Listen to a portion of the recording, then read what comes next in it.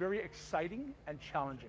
We don't have to eliminate seating positions. We don't have to limit the number of people that could be on the bus. The first diesel to electric conversion of a serving municipal bus in Canada is happening right now, and it's about halfway done. The Milton Transit bus is receiving the overhaul here at MTB Transit Solutions in Milton. The bus was due for a midlife refurbishment, which typically involves obvious cosmetic spruce ups, but also more serious equipment replacement on board. We removed all the diesel components uh, and we're slowly installing the stuff that we can. So like the, the compressors uh, and getting the bracketry ready. We've got this area cleaned up um, with panels installed. Um, then on this side, this is the new electric air compressor that replaced uh, the one that was on the side of the diesel engine.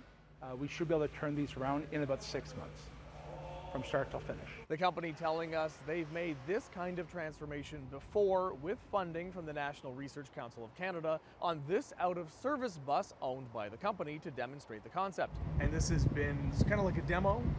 Yeah, this is our demonstration bus. A big part of this is to actually be a proof of concept for us. Just pop it up here. stripped everything completely bare back to the, uh, the frame and the structure of the unit. We have main battery packs on this particular bus. If we go in the bus, inside the bus, does anything change? Inside the bus, the only thing that changes is the speedometer. We really wanted to make it so that it's easy to integrate back into the fleet.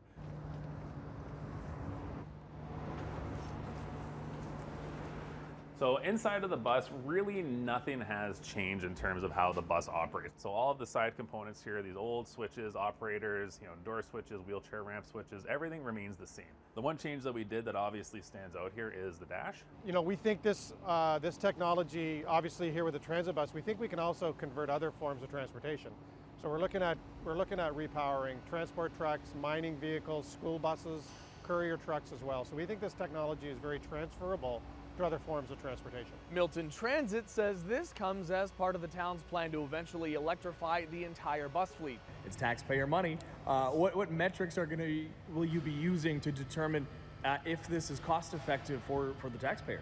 Sure, yeah, absolutely, and that's a great question. Um, you know, we always want to compare, you know, the cost of operating or the life cycle costs of operating vehicles, and so we will compare this vehicle, which will be an electric vehicle, to a diesel bus and, and we want to compare the maintenance costs, the fuel savings and the fuel cost between the two. You know, for us, we want to make sure the technology is sustainable and sound, it's reliable. It will operate this bus as a pilot for about a year to test feasibility and cost effectiveness of both the retrofit itself and operating the bus moving forward. In Milton, David Zura, City News.